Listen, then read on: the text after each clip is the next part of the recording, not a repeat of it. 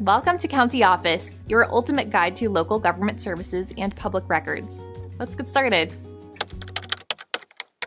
How to start a charter school in Texas. Charter schools are publicly funded schools that have increased flexibility in their operations compared to traditional public schools.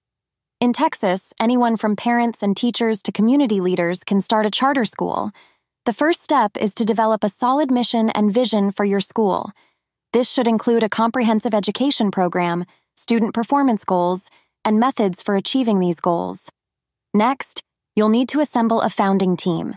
This group will help you navigate the charter application process, secure funding, and manage the school's operations once it's up and running.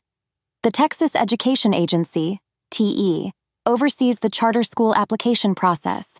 You'll need to submit a detailed application to the TEA, which includes your school's mission, curriculum, budget, and governance structure. Once your application is approved, you'll need to secure a facility for your school. This can be a rented, leased, or purchased property. Finally, you'll need to hire staff, enroll students, and start schooling.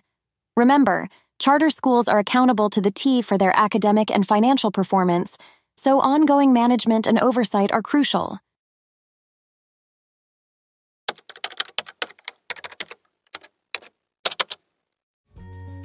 To learn more, check out these links, which you can click in the description below. And feel free to comment your questions. We're here to help. Thanks for tuning in to our video. Please like and subscribe and leave a comment below. See you in the next video.